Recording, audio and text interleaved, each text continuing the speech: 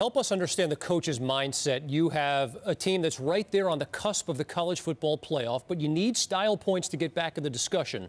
You've got a quarterback that's injured who's going to be a top five pick. How do you balance that? Well, it's tough. And I will say this you don't see Nick Saban shook up very often. I think that he was a little bit shook up there. Uh, he's put in a tough spot because, as you said, he's got to balance winning a game, be and, balance uh, the health of his players. But I think most coaches, and I think Nick as well, would usually err on the side of player safety. I know that I always erred on the side of player safety. You never go into a game thinking a player is going to get hurt. You just don't think that way. But here's the caveat.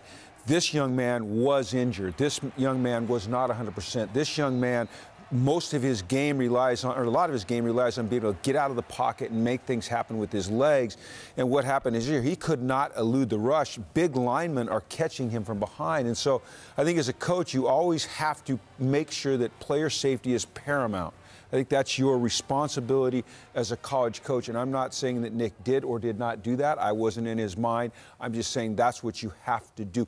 That is more important than anything, especially yep. when you're talking about head, neck, and spine it, injuries. It needs to be more important than anything. I'm not convinced that it is. And this situation, it frustrates me, it irks me, and honestly, it breaks my heart, mainly because I've been in that position. I, have gotten hurt on the football field, had to scratch and claw my way up there. Again, coach talked about it from a coaching aspect. Let me talk to you about it from a player's aspect. A player will always want to play for several reasons. They don't want to let their teammates down, their coach down, the, the media down. They want to be viewed as that super strong macho man that society has made athletes out to be, even if it's to their own detriment. 2014, playing the Tennessee Titans, I get hurt. I tear my groin second degree. We have to play four days later, 72 hours and change later against the Dallas Cowboys on national television Thanksgiving game. I'm from Dallas, so you better believe I'm going to play. Could I walk? No. Could I run? Absolutely not. But in 72 hours, I somehow got cleared. Thankfully, my linebacker coach, Billy Davis, he says, Acho, we're not going to play you. You will be a break glass if needed player. My point being, gentlemen, is that a player will always want to play, but that's not always wise. That's why I hope a coach, a 68 year old future Hall of Fame coach, and his training staff can say, you know what, I understand you want to play.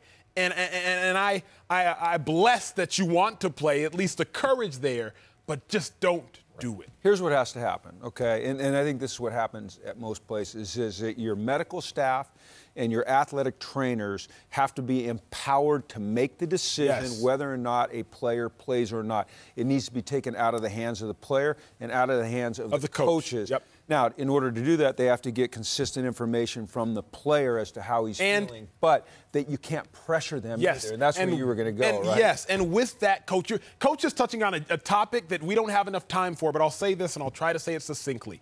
There's so much pressure in college football to win, and it starts from the top with boosters to coaches, and it trickles down to the medical staff. We've seen worse things happen on a football field, and hopefully it stops, but there's so much pressure to win and win now that we overlook the health of our athletes. And we're talking about a player that was injured going in. Yes. This, this right. is a violent, yes. tough, physical injuries game. happen. Guys are going to get hurt, but it's different when you're dealing with a player who's coming off of an injury. Yes, that's, that's what we're talking about. out of the hands of the player and the coach. And What's up? Thank you so much for watching ESPN on YouTube. Don't forget to download the ESPN app, and if you want more premium content, which you do, make sure that you subscribe to ESPN Plus. See you soon.